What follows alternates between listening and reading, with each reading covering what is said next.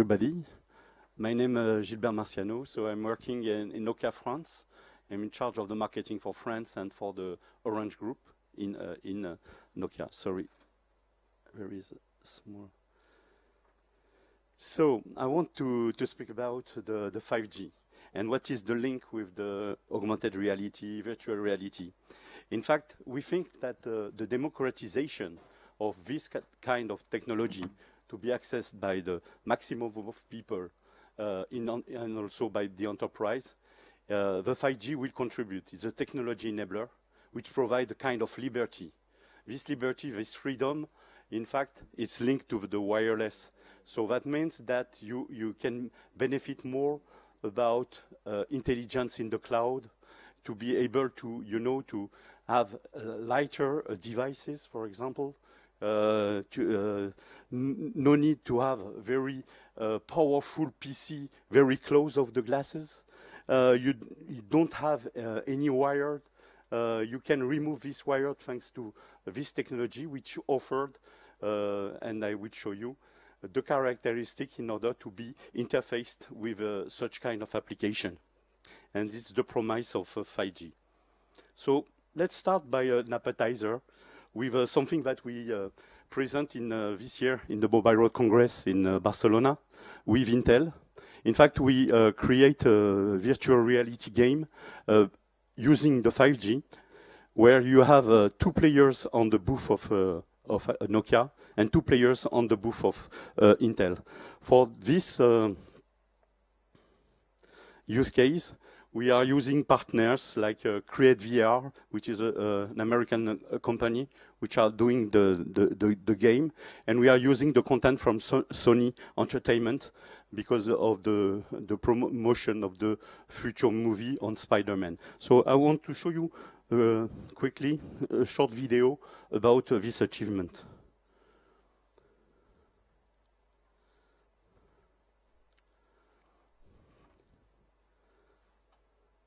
Uh,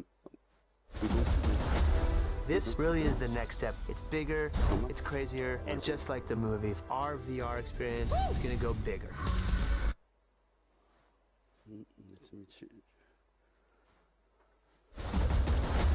This really is the next step. It's bigger, it's crazier, and just like the movie, our VR experience is going to go bigger.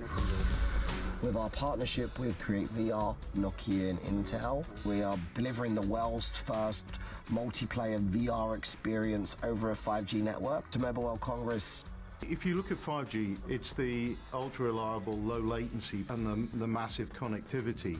As a result of bringing all of that computing much, much closer to the edge of the network, you're now able to deliver much more immersive, much more personalized experiences. What I want to see is queues of people lining up to, to be Spider Man. In virtual reality, the power that you need can only be delivered by Intel. All of our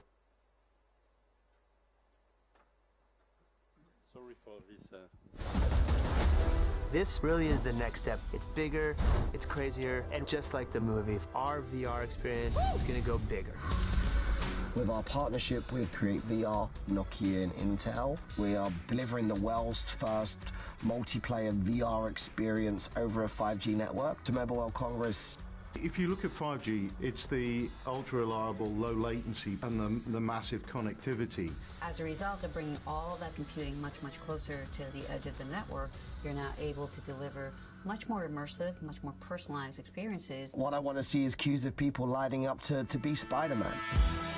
In virtual reality, the power that you need can only be delivered by Intel. All of our workstations have Intel Xeon scalable processors in them, and they've been really proven to be invaluable. For Mobile World Congress, we were approached to turn that into a multiplayer experience. And that's where Nokia comes in. With 5G, you can actually have all your friends, you can have a gang of people, all of you playing together and having fun in a whole different way. Now you can have almost real-time interactions. 5G connectivity combined with computing at the edge of the network will unleash an entirely new generation of immersive, rich media experiences. It's so fast, it's so seamless, it really shows what you can do in the future. We've put together the best team possible, with all these great partners to deliver the greatest VR experience. That's really where we're going, is that we're always going to be pushing the bounds of, of where you go next. We're going to have multiple players interacting. They can see each other. It just makes that experience that much more fun. Together with Sony and Nokia, we're very excited to bring the Spider-Man Far From Home multiplayer VR experience to the world.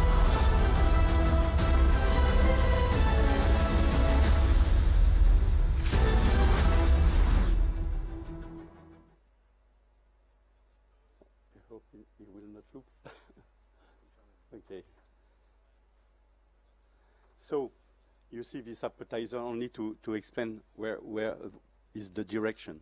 So the 5G, it's a giant leap.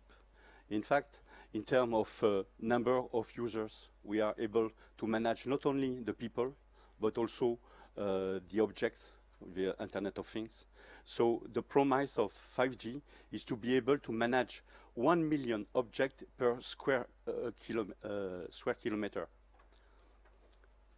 The speed, we will be 100 faster than in, uh, than in 4G today. With, uh, we can reach uh, in a peak in a cell up to 10 gigabits per second.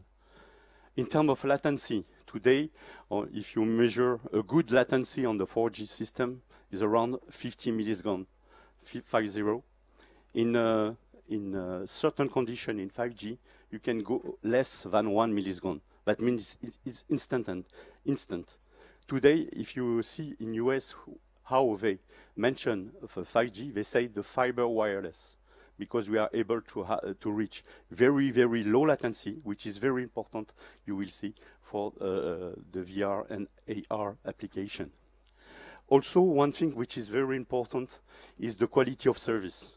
In fact, we have a mechanism in the 5G which is named network slicing. The idea is to uh, have some kind of logical networks on the same infrastructure.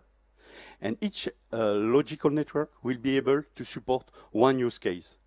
And for example, you can have one specific uh, uh, use case for the gamer, and the gamer is asking for very low latency, for example, for autonomous car, for the public safety. But you can have also some best effort, as we have today with the 4G. So the network slicing is also very important in the way to propose application, for, es especially for the, the, the, community of gamers or, for example, for Industry 4.0. So re really, what is very important uh, to understand, it's uh, that we are reaching, in terms of capacity and latency, uh, really we have a very uh, leapfrog in with this technology. In fact, we are able to address a lot of uh, different use cases. And you see what uh, we named here extreme mobile uh, broadband, it's the 10 gigabits that I mentioned. Massive type of communication, it's the IoT, Internet of Things, like I, I mentioned, with 1 million objects per uh, kilo, uh, square kilometer. And the critical machine communication. This point is very, very important for Industry 4.0. That means that we are, uh, we can guarantee the reliability, especially in interfered environment like a factory, for example. We have also, um, with the critical machine communication, this low latency. And it's very important to understand that now, in the factory, in the past, they are using 4G or Wi-Fi only for kind of uh, back office applications in front of uh, to make some uh, maintenance task, but not critical. All industrial proce uh, process are done using uh, the fiber. Now we can remove all the, the, the cables. For example, in a car manufacturer, they can uh, remove all 100 kilometers of, of, cables for the robots and control all the robots with the 5G. And this is also with the virtual reality and augmented reality. Today you have a very nice technology in terms of headset with the PC, very powerful PC and so on. So we can imagine that we can lighter this mechanism with an headset which is only a kind of uh, uh, with a, a, a, graphical processor inside, but all the intelligence, and we will see it, at the edge of the network.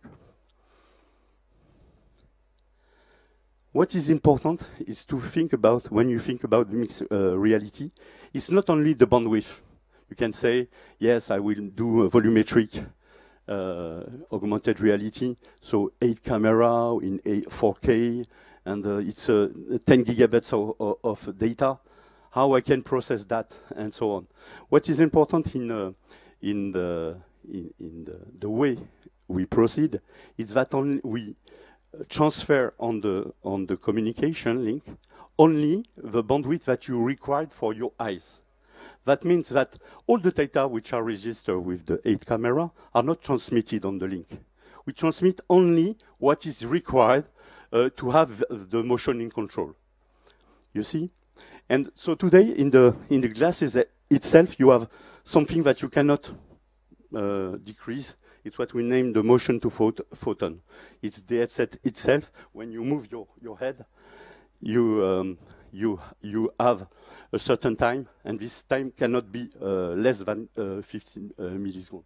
But for the streaming of the video itself in the, in the headset, you can have uh, decrease a lot with the 5G, which is very important, in fact, for all this kind of application. In fact, here you see the, the curve of the stream data, and here the, the curve of data which are generated by your captation. And what is important doing that is that we can be very fast.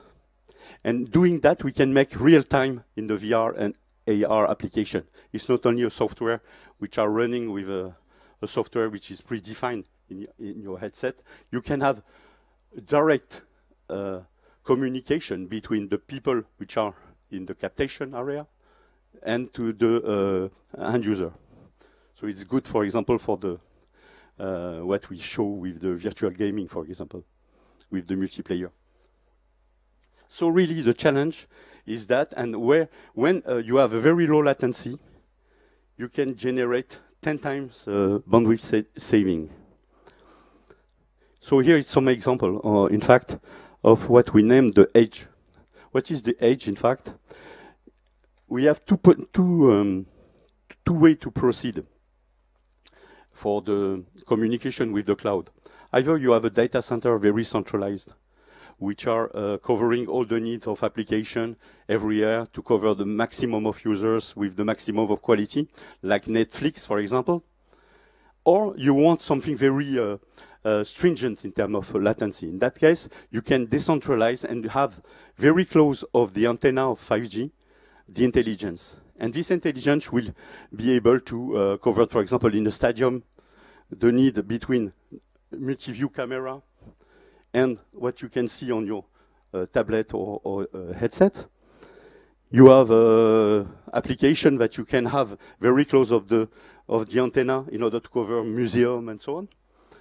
You can have also the same thing for the cloud gaming.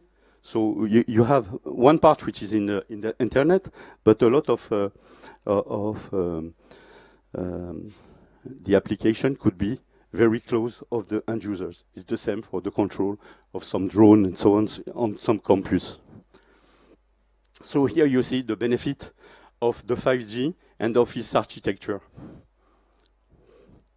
Now I explain you the fundamentals of the 5G, what is bringing in terms of uh, technology enabler. Now what is interesting is to see in practice what does it mean for consumers or for businesses. For consumers, so we see, in fact, uh, two, two segments. One for the, for example, uh, the, the concert, the sport events, all these uh, crowd events, where you want to, uh, uh, for example, in the fan zone, provide a kind of uh, immersive experience. But it could be also one guy which is at home, be able to uh, uh, assist in in, uh, in 360 to a concert which is in Stade de France and so on. So it could be also remote, thanks also to the communication and the 5G. It's also the gaming industry, as I mentioned, with cloud gaming and so on. And here we see that the, there is an evolution, and the technology of uh, uh, mobile is, evol evolving with the evolution of your VR and AR um, technology. So today, we are more in this uh, in this area where we are able to provide 360, 4K and 8K video, make uh, game streaming for the mass market, cloud gaming, and also some experience in, uh, uh, with the hologram. And the, next step with the network slicing, which uh, arrive uh, in, uh, I would say, two years uh, from now. The possibility to make real-time volumetric video and over more complex, complex um, use case in VR or in AR. So I want to show you two experience. One uh, for the uh, holographic, for example, experience. We did that with AT&T, which is a very big operator in US, for the Dallas um, uh, Dallas match, where we did we did a kind of a 3D augmented reality hologram, uh, uh, a, nice experience. And we, we did also with a partner that we have here in France, which is in, incubated in Station F, it's Mimesys, and also where we make a, a remote concert with a, a, musician on stage in a, in a remote area. And the, the people which are assisting to the concert are able to speak with him. It's a real-time communication. That means he see the hologram of the, of the singer, and are able to ask him, uh, please uh, sing this song. And we did this experience with uh, uh, our partner, our customer, Orange, in uh, Varsovie, but also in Belgium this year. So I can show you one of these of the two experience. I hope it will be more what we did uh, in AT&T. Where else but AT&T can you dance your way to 5G? Right here, baby. We're bringing a live 5G system to the venue here for the fans to experience this holographic dance-off that you're seeing. And with 5G, what you get is massive capacity where you can have users doing massively data-intensive activities in fraction of a second. Our volumetric capture stage uses eight RealSense cameras placed all around in a circle, and that's a ton of data, and it's capturing you in three dimensions. And what we're doing is then beaming all of that data up into the cloud for you to view on any device in augmented reality.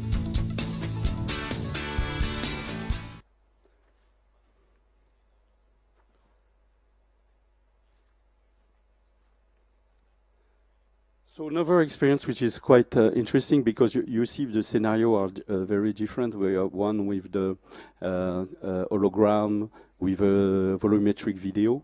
Here it's uh, also interesting because it's linked to the haptic. That means that you can also use some device in the communication with TaiG and use this latency in order to control uh, the, the movement. And here it's uh, interesting things that we did uh, in um, Las Vegas this year for the CES with a, a new way to uh, to play the uh, famous uh, Rubik's Cube game. I can show you. Wow.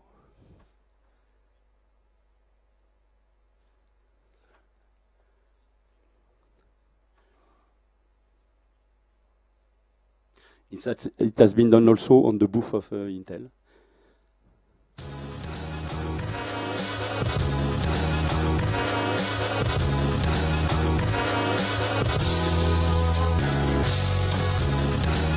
What we're talking about with 5G is how we can bridge the physical and digital worlds together. With 5G, which has very, very low delay in the network, to be able to create these brand new experiences. You can see here is a physical Rubik's Cube so when I turn this Rubik's Cube, you can see the information that's synchronized from the device here through the network into the cloud, processed in the edge in real time, and displayed digitally to me.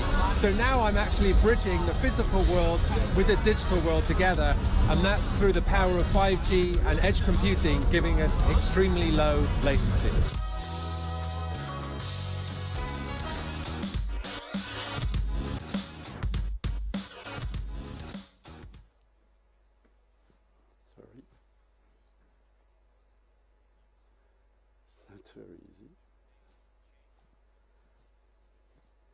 So we see here some example for the more the consumer segment. Now what is very important also it's the industry and more and more. And in fact, we are already, uh, for example, collaborating with our Orange customer in France. We have a common platform to develop use case for verticals for industry. And uh, augmented reality and virtual reality, clearly, it's uh, something very interesting in order to reinforce the skills of the workforce, for example, and things, uh, things like that. So Here, uh, for example, for the training, for the training, I can give an example. For example, in the medicine, you can have one uh, student which are stu studying on a, on a maquette the the possibility to make an endoscopy. You know, it's very uh, sensitive operation to do it uh, for the first time. And uh, instead of using a real human, we can use uh, a, a, fake, a fake, je sais pas comment dire mannequin, mannequin. And so the idea really is uh, with the glasses. I don't know if you see the the the, the series uh, The Good Doctor, but it's the kind of uh, things that you can see inside where the doctor is operating, making remote surgery or things like that for the training to train the student. And um, so uh, for the safety also, for the maintenance and so on. So there is a lot of application of VR, AR in the field of industry. Um, and uh, of course, the 5G will be there to, pr to provide the capacity for the video transmission from the cloud. So the idea really is not to be confined in your headset and to have all the, the, the data in the headset, but really to make a communication between the headset and the cloud and to have access to all the knowledge that you need. And the, the knowledge of, uh, for the car manufacturer, for the medicine with all the, the file for the IRM, for example, all these kind of, of things has a huge uh, volume of data, and this will be very good for the, the, the, the, people which are using this data to have it in real time directly on their uh, headset. And uh, so the low latency, of course, and, um, and to offer this uh, reliability, especially in an interfered environment like in factory. So here I have two, two examples. One which uh, it's a it's a small startup that we have incubated in uh, in Nokia Paris Saclay, which is named Spectral, and which which are doing uh, um, uh, cloud augmented reality assistant. I see a lot of experience of of that in the in the in the booth of uh, of, the, of this event in Laval Virtual. Uh, here, I think the the main differentiators is to have the intelligence clearly in the in the in the edge cloud, providing the content which is remote, remotely uh, uh, sent to the uh, technician technician on the field in real time. And the other one, it's the management with more intelligence artificial and digital assistant in order to have an access to all the knowledge of Nokia in order to manage the, the, the, hardware directly on the field, to be able to see all the sensors in real time, uh, to be able to uh, launch some actions for to repair and so on. So I would show you some example because I think it's quite interesting.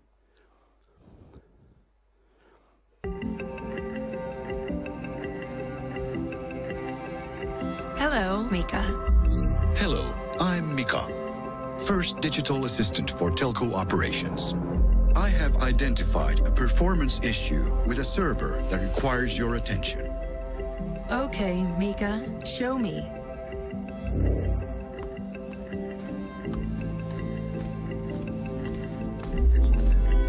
Mika, I'm at the servers. What did the analytics say again? Unit 10E is running continuously closer to target load capacity with 0.02% load increase rate. This server is an older generation model. Hardware upgrade is the most cost-efficient solution. All right, migrate servers applications to a temporary location.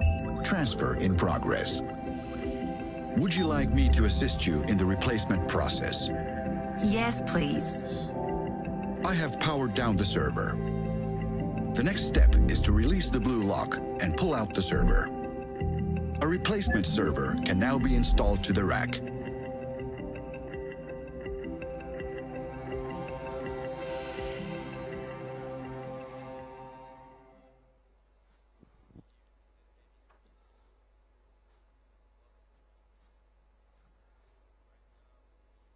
The last uh, use case I want to present, I, I like this one because uh, we did it in Marseille with Orange. We launched the first 5G city in uh, in France with Orange uh, uh, in December, uh, in, and we did with Orange a lot of use case. And this one is a more a retail use case. It's in order to, which is named Holo Party, which has been done we, uh, under, under the control of Orange, with Emissive, which is a, a startup which are doing more the, the, design of the, the use case and the technology of Mimesys that we see already for the concert, the hologram concert, and they are doing the uh, holographic part, and they are using the new technology of Magic Leap for that, with the, all the possibility to control the object with the, the hand. And uh, the idea here is to sell, uh, to sell remotely. For example, one uh, customer come in the shop of Orange, and uh, I'll be able to communicate using the, the Magic Leap with a, remote uh, sales guy, which are pr uh, presenting the product, and he can see the product and see the characteristic of the product directly uh, through the hologram. So I can show you the this last uh, use case.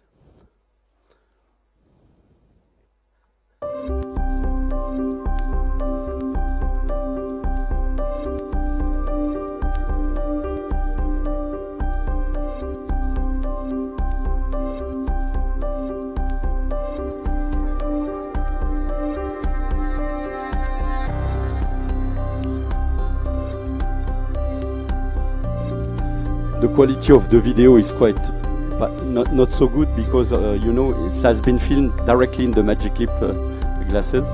Because uh, today very perhaps it's changed now but one month ago there is no XCast possibility to, to display on the screen what you can see in the in the glasses. So we are obliged to make the camera directly in the in the glasses.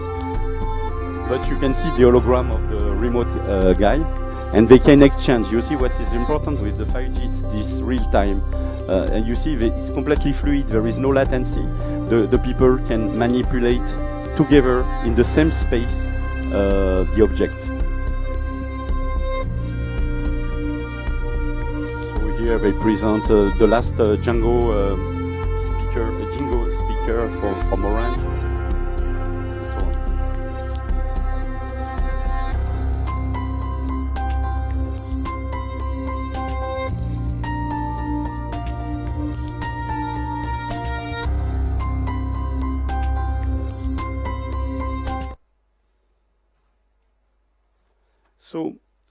As you see in, the, in my presentation, we, uh, we are not alone in this ecosystem. Uh, we are, uh, Nokia is only providing the technology for the connectivity. And we are working with operators which are addressing uh, some B2B customers uh, in order to see with them what could be the, the model that we have to sell tomorrow, what I can do with the 5G. And it's important for us to uh, attract the maximum of, of you, of partners, in order to make some uh, uh, model which are consistent on the market. And it's really um, what we are doing every day. We have, for example, I mentioned Mimesys, I mentioned Spectral, but we have 10, 10 of reference like that which are uh, providing their technology, and we try to work together some, on some pilot, on some trials, on some city, on some uh, things, and it's very important. And for that, we have a one open platform, which is an open ecosystem. Oh, sorry. I don't. it's, it's very randomly. Sorry. He's, he's, uh, he wants to to to stop.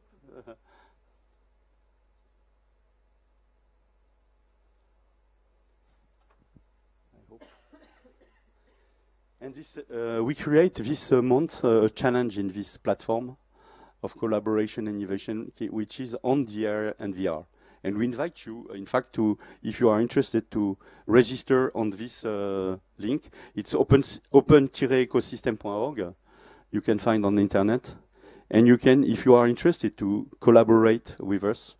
We are uh, in a completely, uh, you know, um, a kind of innovation process where we are uh, uh, recruiting developers, startup, customers, expert, academia, suppliers, and people in order to work on different type of things in order to create a, a use case, to pro prototype it, to test it, to refine it, to make some, uh, to work also on the business model, because it's not only the problem to create something wow, what is important is that if we are able to, to sell it to the industry, if there is a model behind. And the, the end, it's market trials, and for, for you, the possibility also to sell it uh, to, uh, to your B2B uh, customer. So it's very important uh, to work together on that. And my conclusion. So I show you the enablers of the 5G, which say low latency. I speak about the network slicing for the quality of service. I see that you, you can see that we can add a lot of uh, piece in the cake. The 5G is not only radio. It's, an, it's, uh, it's also a problem of an issue of end-to-end. And end-to-end means that we have to aggregate over service like intelligence, artificial intelligence. Uh, you see uh, your technology, VR, uh, AR, edge cloud, and so on. So all these things are contributing to, to have the better experience for consumer and business. Is really what we are uh, providing here, the possibility to use the 5G to bridge the, the physical world and the augmented world uh, in the digital world uh, thanks to the uh, VR and AR, and to use, of course, all this mechanism of haptics and tactile internet inside the model to, to bring the most impressive Uh, immersion. Thank you very much for, for your time.